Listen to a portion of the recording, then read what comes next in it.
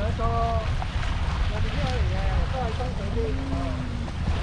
Để cho mỗi về cái nơi cái nơi đi.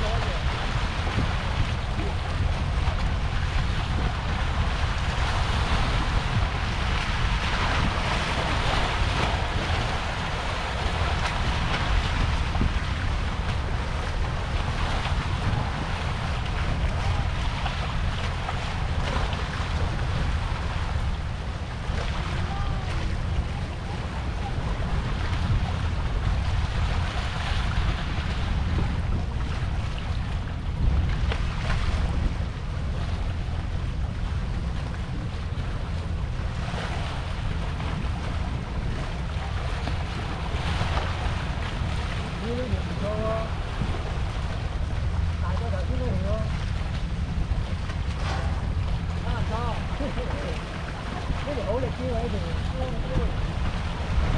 放俾你開，你好玩啲。